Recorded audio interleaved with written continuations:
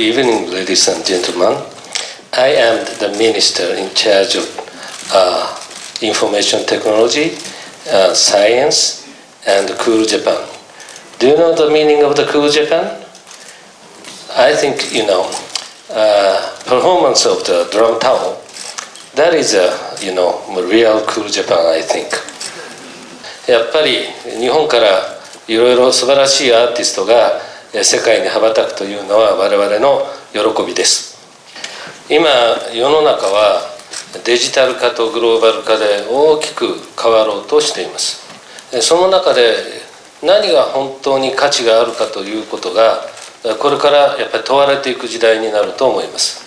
そういう中で私は映画の価値というものがこのデジタルの時代にさらに見直されていくと思います、えー、まあ、結論としてはやっぱり映画だと。映画はどんなにデジタル化の時代になっても、えー、その価値輝きは失わない。そしてそのためにはこのデジタルの時代で素晴らしい作品を作った人たちの権利が守られるようにしなければならない。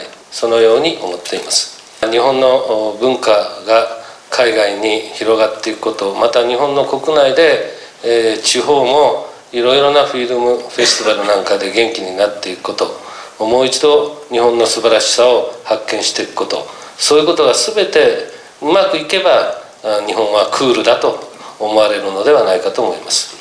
私はかの盟友のですね高倉健さんがこんなことを言ってるんですよ。映画は国境や言葉を超えて生きる悲しみを希望や勇気に与えるものであると言っていかがですか？How do you feel about that? え